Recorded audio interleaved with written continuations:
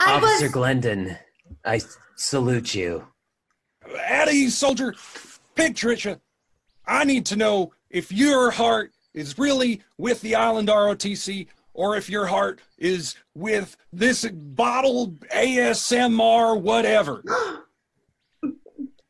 Sir, I joined the ROTC to learn discipline, sir. And in that discipline, I found that I found a quest. And my quest was to do right for everybody on the island. Right now, Maxwell needs me. He needs me to help. But my heart is in it, sir, to serve and care for everybody on the island, sir.